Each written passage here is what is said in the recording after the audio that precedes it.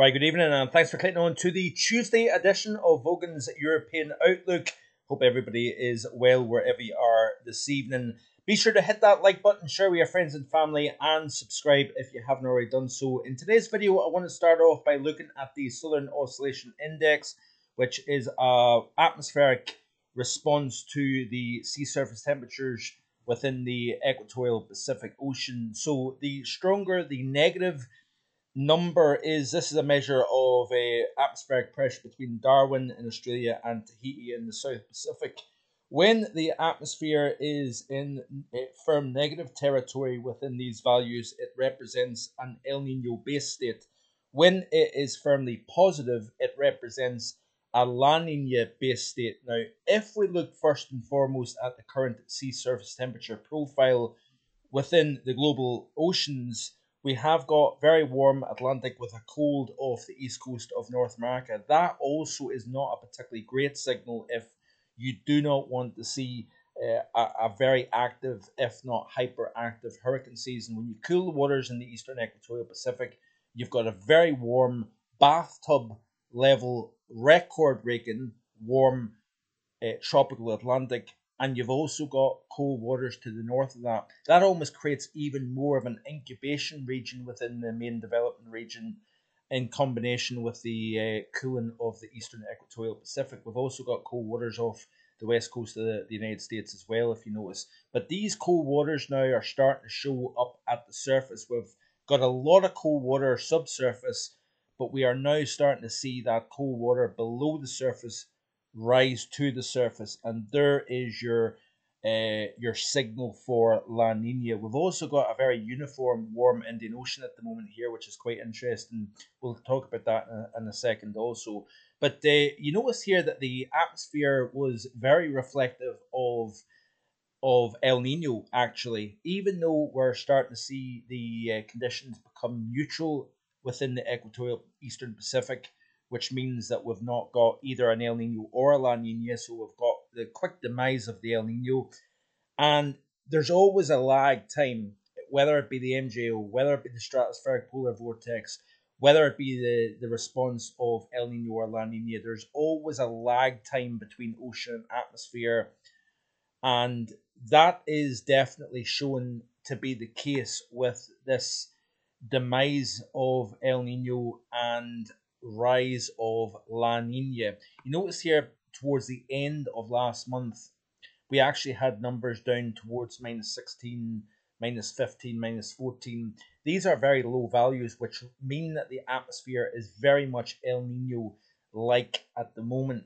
Uh, we did see a, a lift up towards the neutral line, if you notice here. So it went from minus 15, minus 14, all the way up to uh, pretty much zero and then we started to see it dropping back into negative territory. Then we seen on the first of May we actually had plus six eh, point five three, um, and we continued to see this kind of slight fluctuation between these positive, which represent more uh, La Nina uh, response to the oceans compared to El Nino. But notice here that you know, between the 10th and the 12th of May, we had a drop back to 13, uh, minus 13, minus 10, which means that the atmosphere is kind of fighting with the, the cooling of the waters in the eastern equatorial Pacific. And what happens here is that it's going to take time. We are eventually going to see those waters within the eastern equatorial Pacific cool off to the point where they go below minus 0.5 degrees Celsius. Uh, and that means that will constitute a La Nina, but there has to be a half a degree below average for a three month period to actually constitute uh, a La Nina itself. If you look here at the NMME model, we see here that for the month of May, it's in- indicating those waters uh, cooling within the equatorial Pacific. Then we see it increase more in June, furthermore in July, and then as we move into August, September, the heart of the, the Atlantic hurricane season, we should have a fully fledged La Nina within the eastern and central portion of the, the, the Pacific Ocean. And then we should start to see those SOI values really start to go into double figures above the zero line, and that would mean that the atmosphere is responding to the cooling waters of the eastern equatorial Pacific. So it's going to take time, and the reason why I'm showing you this is because the big question is how what what influence is this eventually going to have on our weather up here in Western Europe here? So it, it really does depend. Obviously, the Eastern Equatorial Pacific is a long way from here, so therefore it takes longer for the atmospheric response to kick in, given how far away we are from the, the source region of this cooling waters in the Eastern Equatorial Pacific. So the big question is when you do get the transition from El Nino to La Nina, the quicker that transition kicks in, sometimes that tends to lead to cooler and wetter here in the UK, Ireland, and Western Europe for the, the summertime, especially mid and late uh, season. But it depends on how quickly the atmosphere responds. How quickly does those waters cool? How quickly does the SOI respond to those waters? These are all big questions that need to be answered, and it will only be over the next few months here.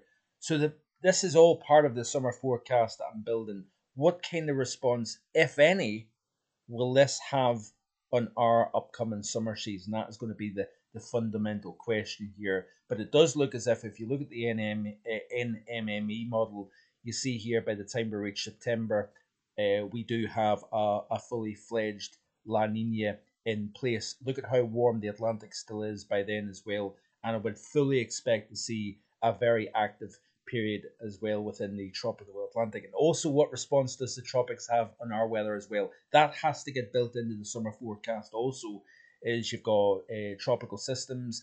If they happen to continue progressing westwards through the Caribbean into the Gulf, hitting the southeast or eastern United States, if they happen to recurve, the stronger those systems are as they develop over the Atlantic, the quicker they may start to feel the steering winds in the upper levels of the atmosphere, and that tends to allow them to recurve. Any kind of energy warm core systems running around the, the, the western flank of either the Azores High or the Bermuda High, depends on which one is strongest. You tend to find that the Azores High hands off to a stronger Bermuda High as the second half of the season progresses. And then what influence does that have on our atmosphere? We can have direct impacts by these systems becoming extra tropical and then they become areas of low pressure. Katia in 2011, for example, really stands out in my mind. Very deep area of low pressure, broad damaging winds, 80 plus mile per hour winds, heavy rainfall. We had almost, not quite, but almost tropical uh, storm conditions here in the UK. We also can have these systems running northwards drives a stronger area of high pressure and actually can deliver heat wave conditions also, especially August and September for the UK and Ireland as well. So these are all things I'm looking at and just trying to join the dots together with regards to the upcoming forecast, which will be released a week on Sunday and it will be delivered on the live stream 26th of May at around 4 p.m. So I hope you can join me for that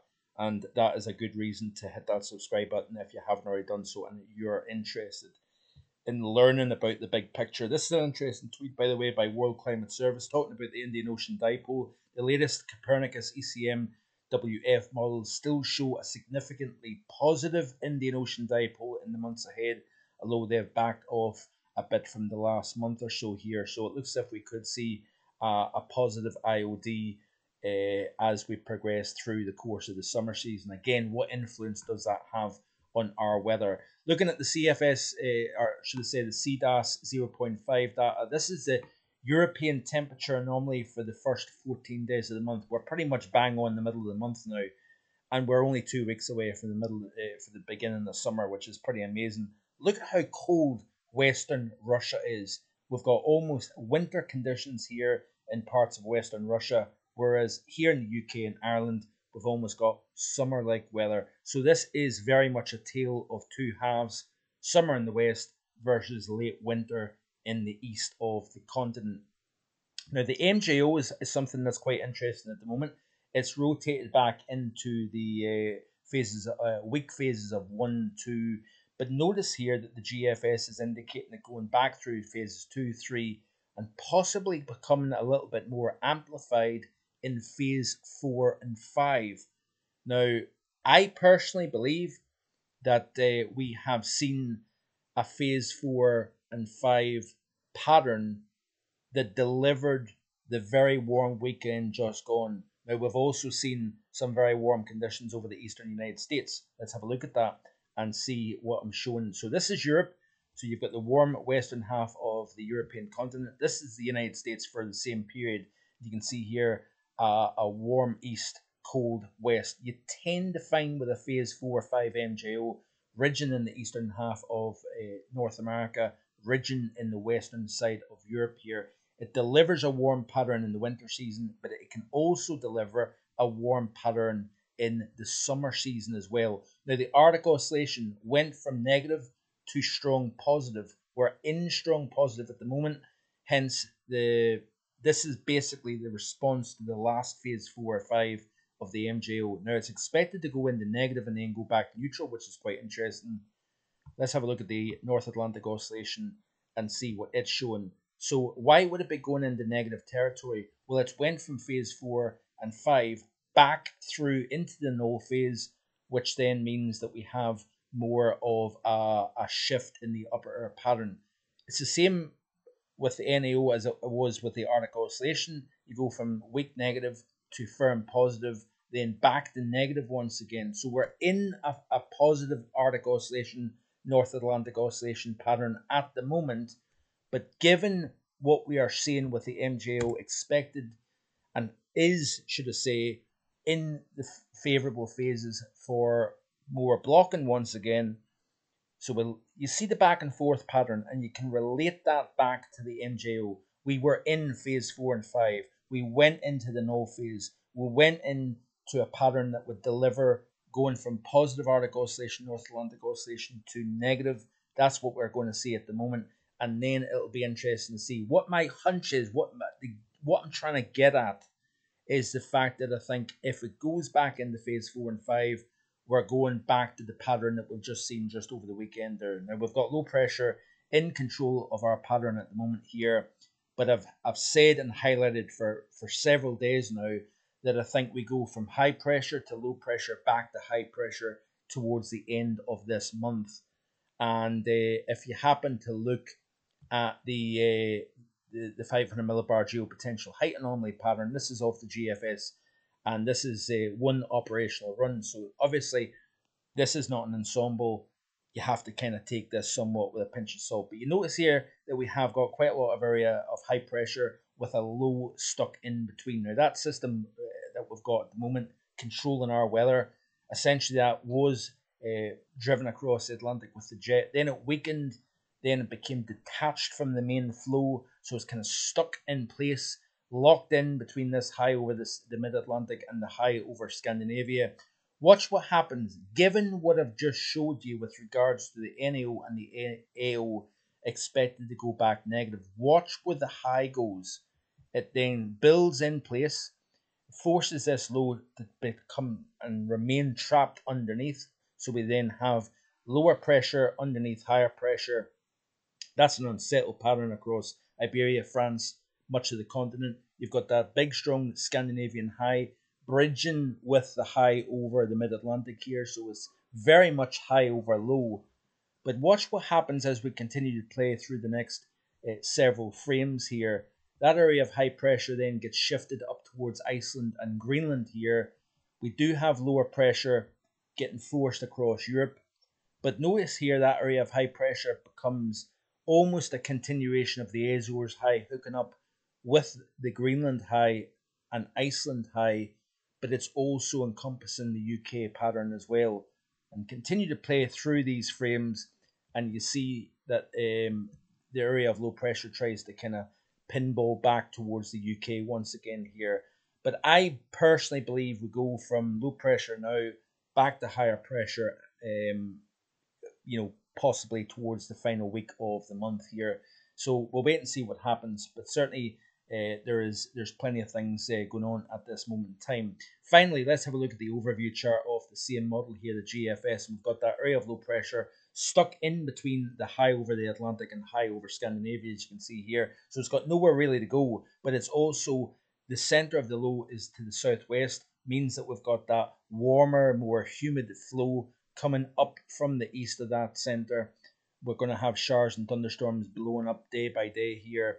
And then I think what will happen is we are going to start to lose some of that that uh, influence of the low pressure as we move towards the upcoming weekend here. I think what we're going to see is that high becoming a little bit more established over the country, creates a little bit of a seal within the mid levels of the atmosphere, stops the convective process developing as the daytime heating kicks in. Once you start to cap the atmosphere by raising the heights in the mid levels, you then start to shut down the upward motion within the atmosphere, shuts down the shower production as well, and uh, we should see a, a bit of a quieter pattern through the course of the weekend. And then as we move into next week, it all is to play for. Still a lot of uncertainty with regards to next week, anyway. So yeah, I think I've spoken plenty, um, and uh, I'll, I'll I'll cut for today there. Hope you enjoyed today's video. Let me know in the comment section below what you think of today's content. Hit that like button, share with your friends and family, and subscribe. I do greatly appreciate it. Upcoming weekend, we have got plenty to, uh, to look forward to. Weather Talk episode 3 um, will be available on Saturday. We've got the live stream this upcoming Sunday, as always. And remember, the summer forecast will be released a week on Sunday, the 26th of May, will be the release date of the summer forecast. So stay tuned for that as well. See you again next time with more. Bye for now.